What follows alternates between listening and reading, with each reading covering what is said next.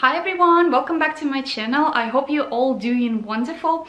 I'm sorry for not being a little bit consistent as I promised in my last video. It's just my work took completely over me since I finished my uh, last placement. I had so many shifts, we had a lot of people calling sick and because I work casual, I was trying to cover those, you know. And now we have school holidays as well, which means my kids are at home and at the moment they're watching cartoons on Netflix upstairs. So giving me a little bit of time and silence to record for you this video. So this video, oh my god guys, you ask me so many questions regarding studies, regarding loans, regarding repayments, regarding lengths of studies, which one should I choose, EN or RN or AN, you know, who I will become, what I will be doing in the end and stuff like that. I tried to answer all of those questions in the comment sections under different videos depending where you ask those questions. But I thought okay not many people actually go and read the comments. So I thought okay I'm going to just make one general video putting all these questions into this sort of video again and make it easier for you to watch. So that if you watch it all it will be all in one place you know and I try to cover as much as I can and explain to you from my perspective and from what I know from what I've experienced myself through my studies. And yeah hopefully it will become useful for you. Okay the first question that you ask most of the time is which one should I choose RN or EN and Okay guys, this is two completely different degrees, okay? Your EN is this when you go to study your diploma of general nursing. This could be private organization or private education provider or it could be at TAFE. TAFE is the most popular one. Now, I've seen in my state some of the unis actually offer you diploma of general nursing through them and then they will sort of like give you some sort of like credits, you know, or ways to take a pathway to study RN if you want in their uni. So you do the EN there and then you continue to RN if you want to. Okay, I've done my one at TAFE of Queensland if you are first time now on my channel. So I finished it last year and I've done it at local TAFE and I've done it full time. So this is regarding diploma of EN and it goes for 18 months full-time or three years for part-time at uni, that's your already bachelor. This is not diploma. This is bachelor and it goes for three years full-time. You can do six years part-time if you wish to, okay? So, uh, when you look at these two professions, I haven't been worked as RN yet. I'm a current student. I am now in my second year of uh, my Bachelor of uh, Nursing Science to become RN. So I'm not working in a field now as RN but from what I can compare from my um, clinical placements, RNs, they have more responsibilities, they do more clinical tasks, and this sort of profession goes into sort of like a management side Whereas ENs, they still do a lot of clinicals too, but they have a little bit less responsibilities and they work under supervision of RN. So RN is above EN. So if you have any um, concerns, if you need to report certain conditions of your patients, the first person, person you would be talking to your RN and then doctors and so on and so on. Okay, so of course your salary will be different as well. You know, with ENs, they have certain salary wages. I'm not gonna go there now because you can check all of that online. It depends where you work. Metro North, for example, gives you one salaries. Queensland Health will give you different salaries. If you work in HK, again, you will have different wa wages or salaries. So it's going to be always different, okay? Um, RN, when you start to work as RN, every year of your experience you will have a chance to be having more salary increase. So the more you work in the industry the more your salary will go up which is really good. Then you can uh, up boost it by maybe doing some advanced diplomas you know or some other master's degrees and stuff like that you know and if you want to go a little bit to different fields in nursing and stuff like that depends who you want to become in the future, you know, along with the way when you start to work in the industry, learn new things, you know, and maybe having different interests and stuff like that. So those are two different courses. Now, regarding the prices, some of you asked me, okay, if I go to do EN and then I will do RN, how much it will cost me? Maybe should I do RN right away and it will be cheaper for me, you know? Yes, definitely. Look, if you go to do your EN, okay, the course currently cost of um, 21,645,000, okay? So this is the current price of diploma of EN here in Queensland. I'm, I'm going to be talking only about Queensland because this is where I live. And if you wanna check other states, you can go to uh, online and just type Diploma of Enrolled Nursing or Diploma of Nursing and it will give you prices of different states as well. So for Queensland, it's 21,645. All the links of the information that I will be providing you today about will be linked in the description box below. Okay, so that's diploma. For uni, you will be paying roughly between 7,000 to 8,000 and few hundreds, depending on a uni, okay, and depending how many um, units you have per year, okay. So if you Google for example, Bachelor of Nursing, you will find that the brackets, you know, numbers or the price for the whole bachelor will vary from 20 22,000 up to 30 or even 35 depending on the uni and depending on which state you are living and studying in okay? In my uni i pay roughly around 7,500 600 a bit more sometimes per year depending depending again how many units and um, probably workshops or whatever is in the program I have during a particular semester, you know, throughout the year. So that's the prices. So now the question is, if you go to do your diploma of enrolled nursing and then go to uni, you will basically have a credit for certain amount of units. In the unit that I study in, it's Sunshine Coast University, I've got eight credits which means for eight subjects. So I didn't need to do first year at all. I took a pathway from Diploma of Enrolled Nursing to uni second year right away. So now I personally paid for my diploma at that time.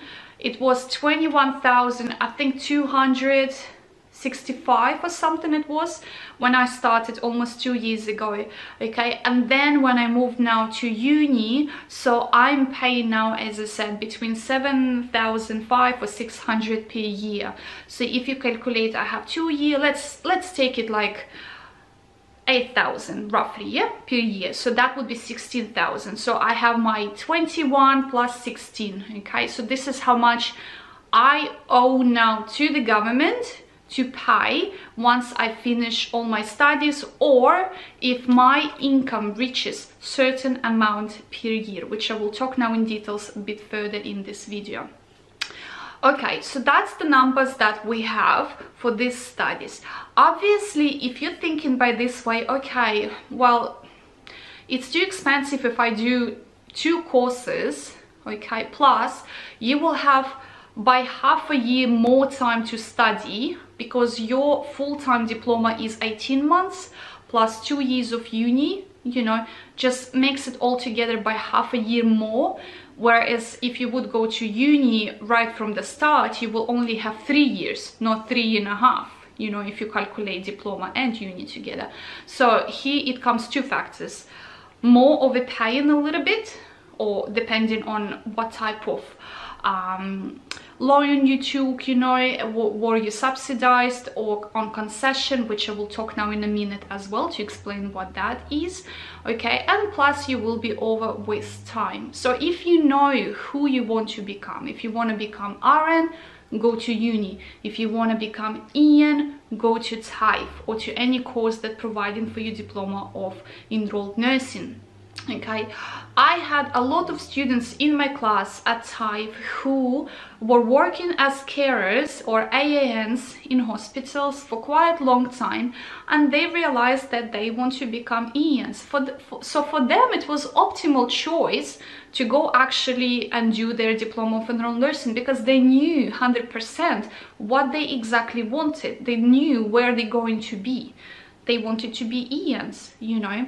For those who see themselves as RN, they can do straight away uni you know you don't have to do any of additional courses now you probably have a question Yana why did you go to do your EN why not RN okay I moved here from Queensland. I, I moved to Queensland from New South Wales. Now it would be roughly two years and a half, or maybe almost three years. Okay, when I moved here from New South Wales, I knew I wanted to study my nursing already back then. My partner at that time, he was moving here for work, okay, and Mia was just moving with him. But I wanted to do my nursing, and at that time, just before moving, I've just got my citizenship as well, so like a year before it or something like that, okay. So I was a permanent resident before that, and then I've got my citizenship here.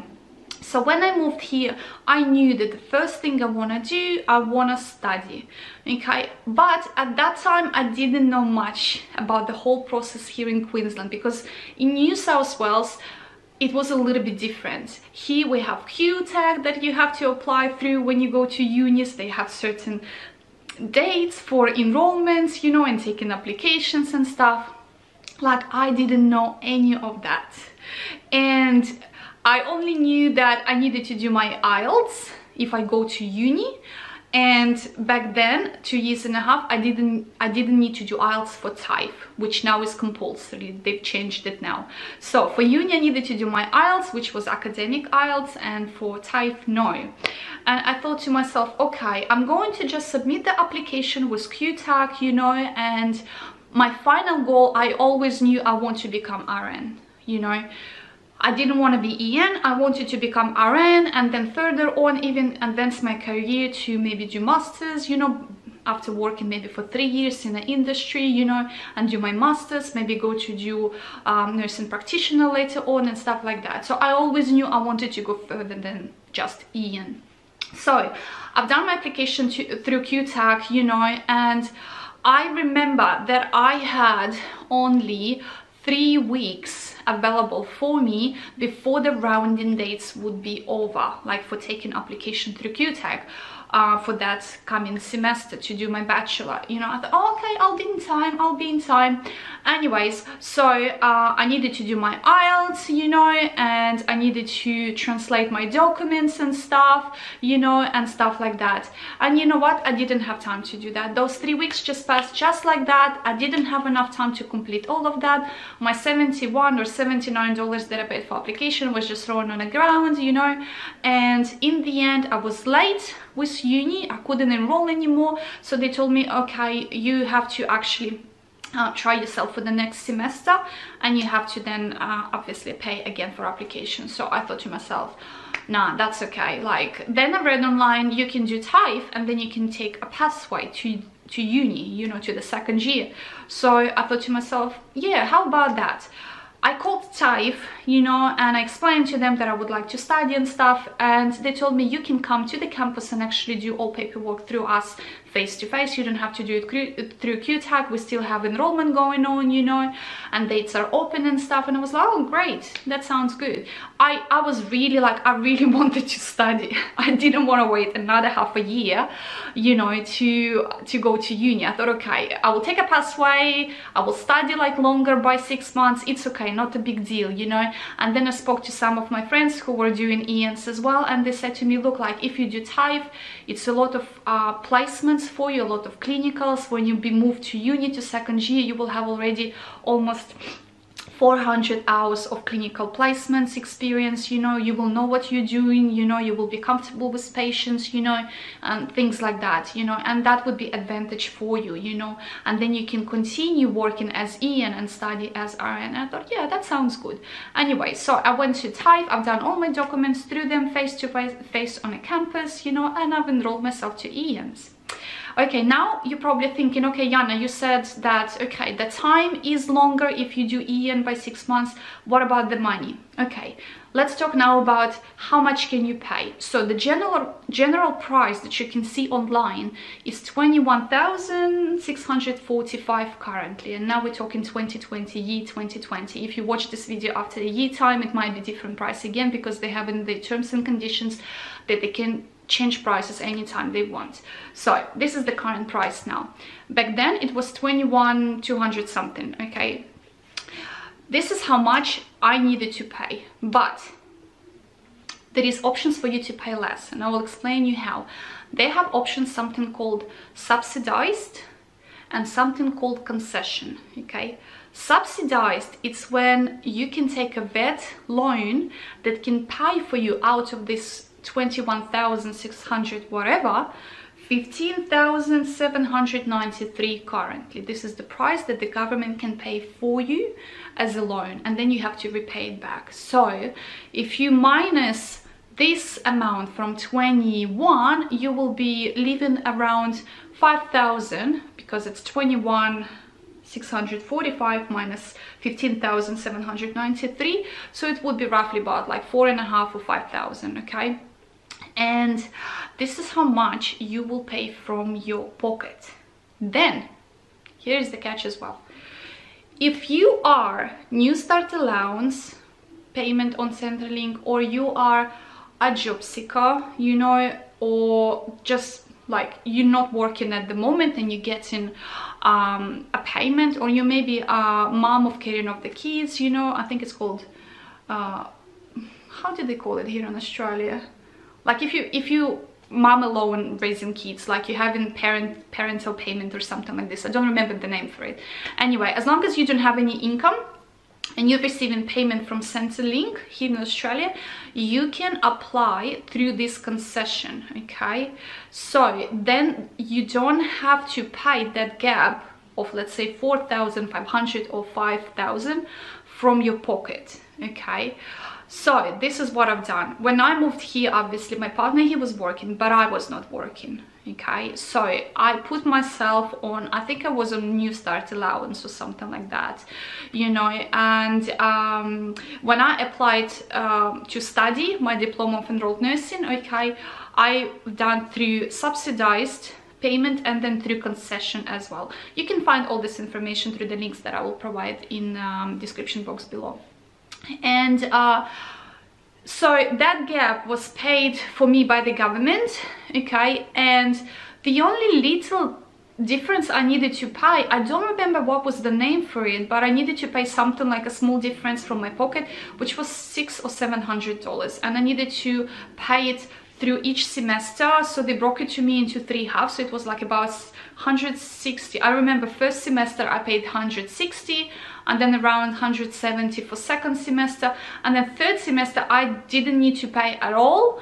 because uh, midway or the beginning of our second semester of my diploma of enrolled nursing the price for uh, diploma went down and they've done the recalculations for us and we didn't need to pay like full, full amount. So my my price even went down and then that last portion of the money that I needed to pay in my last semester from this seven or six hundred dollars okay? I didn't need to pay so it was like 250 or 200 I didn't need to pay. So I basically paid from my pocket like about $400 okay? Everything else was covered for me. So if you are not working and you're on a payment from Centrelink you can use it as your advantage like in a good way because this will help you to not pay that gap from your pocket you know and still do your dream and study nursing you know and become a great nurse in the future.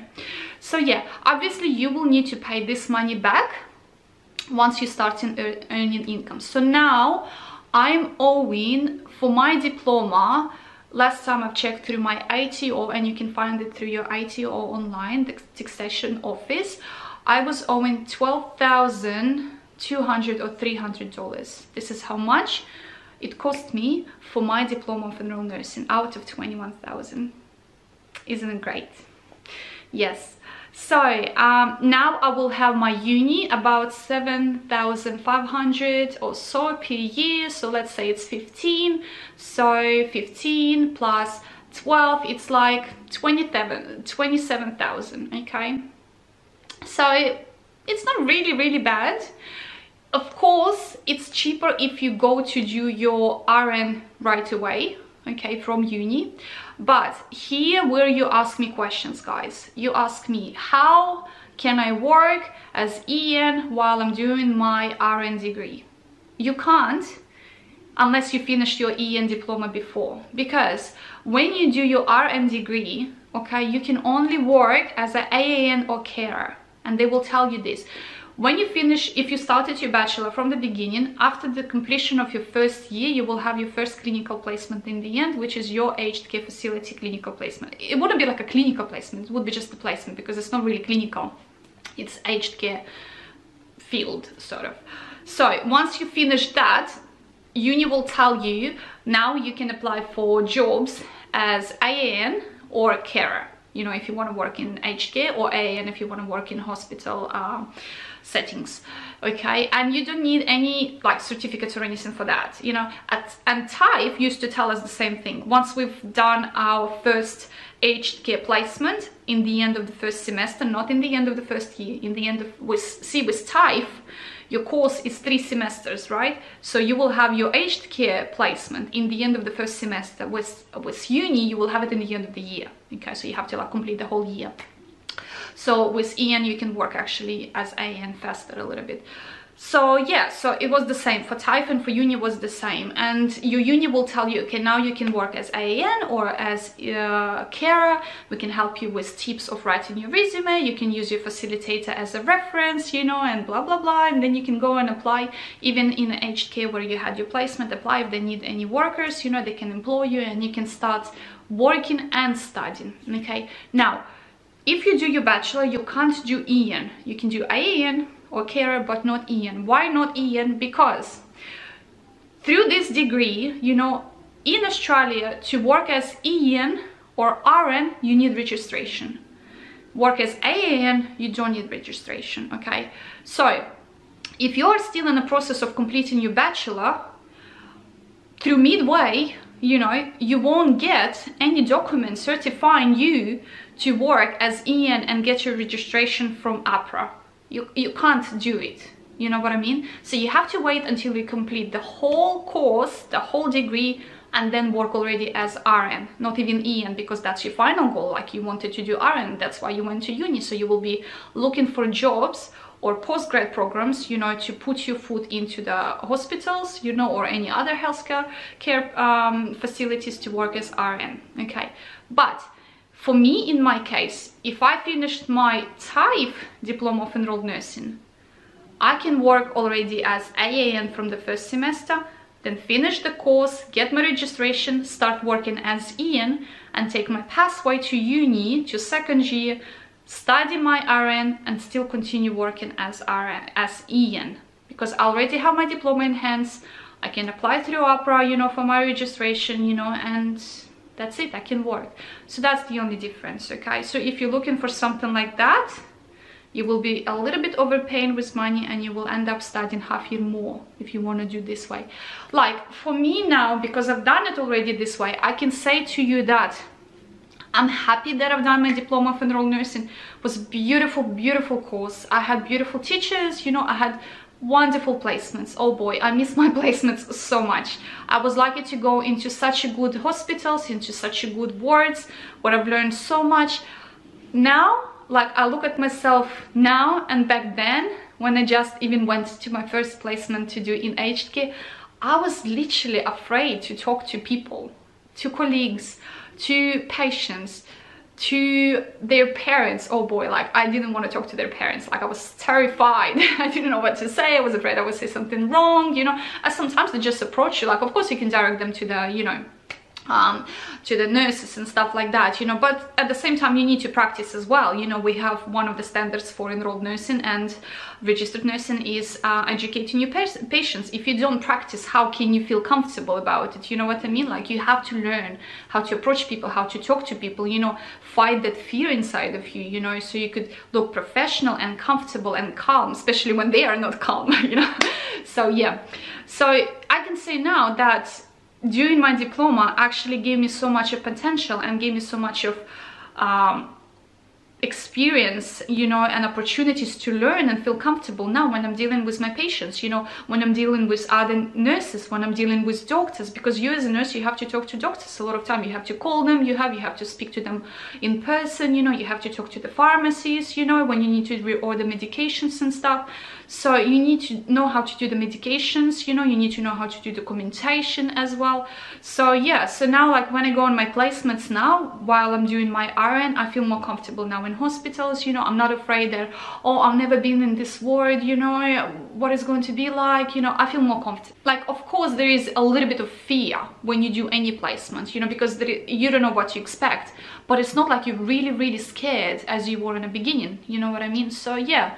So for me i'm really happy. Now i came to the second year of my bachelor of nursing science with 400 clinical placement hours behind my shoulders, you know, and I even feel more confident and comfortable in labs when we practice, you know, clinical skills and tasks in labs, you know, so yeah, like, and you know what, believe it or not, but most of my class in my semester one most of it was the girls were the girls that have done their ENs and they came from different TAFEs. Like I was so surprised. Like I only had about four or five students who came um, directly from high school doing their bachelor of nursing right from the beginning but all the other people i had them completing their ENs you know and moving to the second year. So i was like i was so pleasantly surprised. I was not the only one.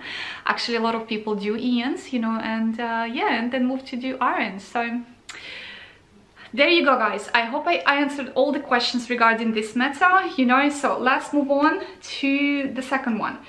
You keep asking me english test. Oh guys look i hate this test to be honest i'll tell you honestly and i don't like to use even word hate but i do hate this test. I think ielts is a way of just sucking money out of students okay? And if any ielts representatives watching my videos you know please don't get upset at me but really guys like many few very few people actually pass IELTS from the first time you can most of the people need to do it second or third time either to um, be eligible to enter certain education providers or to get a registration and this is the fact okay and what makes the matter even worse is that the cost of this test is so high when I've done it first time it was 300 $40. Now it went, I think, I've heard people said it went to 375 or something like that. But don't quote me 100% on that, you can check it yourself, but this is what I've heard people said. So this is like, this is so expensive, really. So if you're looking at failing first time, if you fail first time you know you have to pay double amount of all of that because you have to book another one and pay again you know so yeah it's really expensive and also like the time that they strict this test with. It's like each well apart from speaking but each other part is so strict with time especially writing that literally like you're writing so quick you know? And can you imagine like any test it's like an exam right? And here knowing that this test is so important for you because it depends. If you pass this test it depends whether you will get a registration or whether you will enter certain uni you know. You feel so anxious and so nervous when you go to do it you know. And also the time that they put you know the brackets of this time make you even more anxious you know because you know like you have to think quick you have to write quick you know. And on the top of that you feel stressed as well and you have to do all of that in such a pressure you know which is making the situation even worse you know what i mean? If they would give you a little bit more time i think it would be more fair but i don't think it will happen yeah i remember when i've done my writing part literally like just i put the pen on a table like the time was over and i was like phew that was close so yeah. So a lot of you asking me about this test yeah so yeah look guys you have to do it now. Apparently in my state you have to do it for TAFE and you have to do it for uni. It's been always for unis. As far as i remember myself researching for nursing it's been always there for unis. But it, it never been for TAFE until certain like times. And i think different states changed the time for IELTS for TAFE differently. You know, like it appeared in Queensland about a year ago. I remember I was in my second semester of my diploma of enrolled nursing and this is when they put IELTS as a mandatory test uh, for those who don't have English background. So yeah, so you guys have to do you have to do this test. Unfortunately, you can do uh, this test or anything equivalent to it. Okay, and uh, I think they put it now seven 6.0 overall and not less than 6.5 on each category. Yeah. Okay so that's regarding that those questions. Now regarding uh, the repayments. Okay so how can you repay? Look at TAFE you will have this vet fee student loan okay and at uni you will have HECS loan okay both of these loans they are interest free which is great okay? So it's not like you bought a car and in a time of five years repayments instead of paying 15,000 you're overpaying 20 it's not going to happen here. So um, australian government is actually very fair about that and this is something i like. And in general i like the fact that australian government is actually giving us these opportunities to take a loan and uh, study. I think the amount maximum amount of the loan last time i've checked was 90,000 per person. So you can divide this this money into whatever courses you want to do and then after that you have to pay already from your pocket if you exceeded it. But 90,000 oh boy wow it's a lot. I mean like it's great. What can you wish for more really? It's it's wonderful. So yeah. So when can you repay when i started my diploma the amount for repayment not the amount for repayment that your income threshold threshold whatever you call it was 51 or 52,000 per year. So once you start to earn that amount of money this is when your taxation office or IT or whatever they can start to withdraw a certain percentage from your income or from your salary or wages whether you earning it per week or per fortnight you know back to the government okay? You can check in ATO how much you owe for your studies. So every time in a uni for example when you complete a new year you will have it on your student database. For diploma at TAFE I have it now full price on in my ATO when I log in on a government website, you know, to check my taxation and stuff, I can see there. I don't have my uni showing there yet. I think it will work by when you finish the whole course, then the whole sum of money will go in there. So at the moment now, I'm repaying, as far as I know, my TAFE so far, not my uni yet, because I, I literally like studied only one semester. Maybe they will hook me up soon and i will be repaying back as well. Uni together. Because how they calculated for you any type of loans you took is going to be as one general sum of money that you have to repay. It doesn't matter was it HECS or VET FEE-HELP you know and stuff like that. There is a general amount of money altogether there that you have to repay back okay? So yeah. So now so far i'm paying back my TAFE okay? So um so that was back then. It was about roughly 52,000 now they've changed it to I will tell you quickly I had this open but again the link for it is going to be in a description box below okay? And there you can actually see how the government changes every year if they change it okay? So now in um, 2000 between 2019 and 20 the compulsory repayment threshold was 45,881 so they lower it actually lower. So now if you're earning about that amount per year you're eligible already to be repaying your loan back.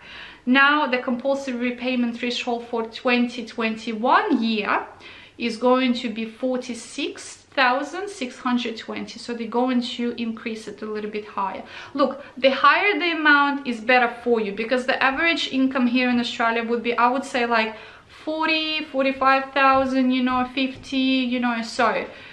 Now currently at this year it's 45 you know so now average income basically. Like they just I, I assume they just want people to start to repay it quicker you know according to the average income. And also because we had all this loss of jobs for a lot of people or reduction in hours you know just obviously nobody were earning the money that they used to earn before so it was no payments going back again to the government. So yes so this is the current amount. Now how much you will be paying back? So here in the website that i'm going to link for you in the description box below it actually tells you the threshold how much you earn and then the payment rate. I usually pay um, they take from me about three to three and a half, four percent, okay, every fortnight, okay. But again, it depends because I work as casual. It depends how many shifts I do per week or per two weeks. I get my payment every fortnight. okay so it depends how many shifts i do so i usually do like about four or five shifts per week so it's like 10 or, or 11 sometimes i do 12 you know if i'm having a lot of free time you know no studies no assessments i can do more and sort of like save up on the money for the times when i have my placements you know or whatever happens in life if you got sick or something like that. So yeah so they tell you like for example if you're earning below 45,881 you will pay zero. If you earn from 45 to 52,000 you pay one percent out of of this amount. If you earn between 52 900 blah blah blah till 5 till 56 100 whatever then you pay 2% and so on and so on okay? So it's not really much that the government take from you. Like i can honestly tell you it's not like it's going to be taking half of your salary or something. No you can still enjoy your life you know and you can still have other loans but just keep in mind and they tell you as well when you apply for any loan whether it's for education or whatever that depending on how much you owe to the government how many of courses you've done in your life you know and stuff like that it may affect your ability or the amount of the money that you want to borrow from the government for other types of loans like for example buying a new car you know or buying um, let's say a house you know and things like that. So just keep that in mind you know. But in general like I don't have any other loans in my life. Like my car is fully paid out you know. I rent I don't have my own property. So I, the only loan like loan I have which is my study loan and I can tell you that it's very comfortable but the percentage amount that they withdraw it from your salary or from your wages is pretty enough for you to have a comfortable life. You know you can still buy clothes you can still travel you can still have food you know and stuff like that. So yeah this is why i love again australian government because they're fair in this sort of aspect. So yeah. I think i've answered pretty much most of the questions that you guys ask me okay uh, regarding this matters that I've discussed here doesn't make sense does it make sense what I just said. Oh god I think I'm just getting tired. Oh yes one more question you guys ask me. Um, who can get the loan? Okay guys if you're a permanent resident you can still get the loan. Actually if you go to TAFE and search for diploma of general nursing or if you go to uni website for bachelor of nursing science you know course you can actually see in a section where the loans explained and how to apply for it and who are eligible and stuff like this you can see that uh, PR or permanent residents, you know, and also uh, people who already have a citizenship here in Australia, both of them can have actually loans. So yeah, so don't be afraid. If you PR, you can still have loan. And uh, yeah, again, how fair it is, isn't it? Everybody can study, everybody can pursue their dreams, you know, and have equal opportunities, which is great. This is another thing why I love Australian government because yeah, I think it's great. So if you have more questions feel free to leave them in this video. You know i mean like in a comment section under this video because it will be easy for me to locate them as well and so other people could read it. But uh, yeah so i hope i answered all of them and this video will be somehow beneficial for you as my other videos. For now i'll see you in my next videos. Bye Hi guys, so I decided to add this small piece into the end of this video because um, I've got a few more questions asked by you guys today. And because I was about to finish editing my uh, video that I filmed today I thought okay I'll just include these parts you know in the end as well so that it could stay all in one video as I wanted it before.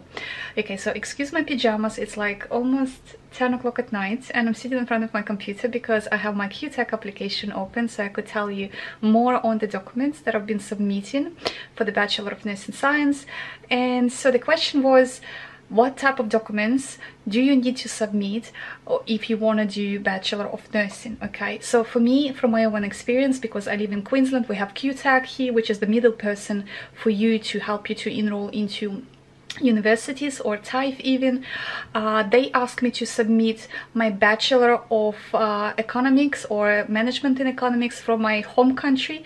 They wanted it for me to translate it and submit it in original language and also as a translation as well. So I've done translation through uh, NAATI tra translators here in Queensland.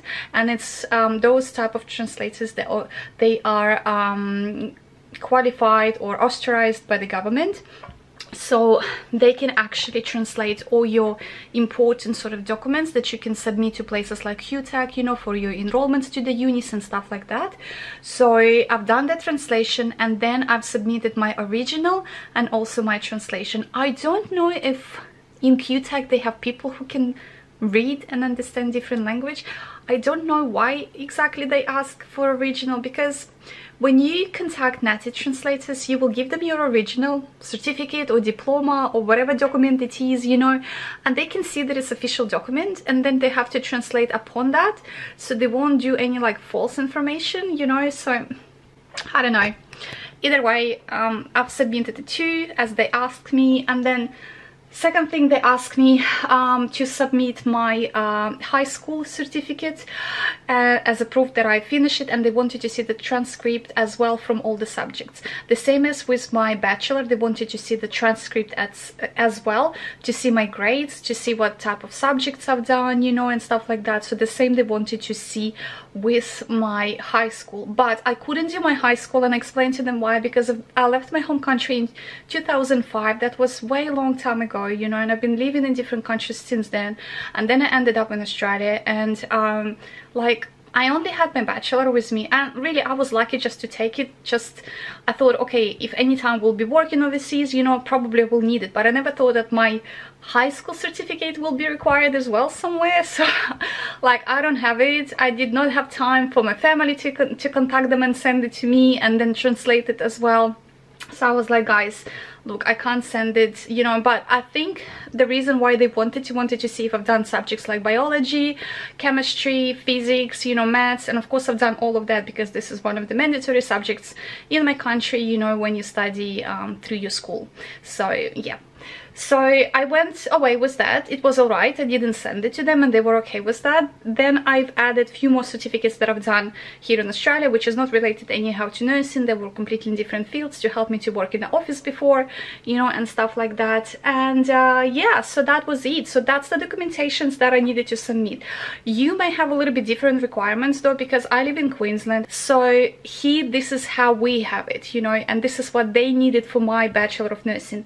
You know, if you you are in different state in Australia, it could be different a little bit, maybe different documents. But in general, they need your bachelor's or diplomas if you've done any before to just give you that rank, you know, to be uh, eligible to to be enrolled to the uni. Because each uni have a certain like a passing rank. You know my one i needed how much was it? I think it was 89 or 84 something. Some unis have 90 91 my bachelor of nursing uh, sorry my bachelor of economics gave me 94 points or score of 94 which was like top of my head. It was too much even so i was really happy about that. So yeah. But each uni have has different score okay? So you have to check it with QTAC you have to go to each union have a look you know what's the passing score. Um so yeah so that's the documents that i wanted to mention. So um yeah sorry about tuning in like that in the end but uh if this information was helpful um yeah i'm happy if it was. Anyways i'll see you next time. Bye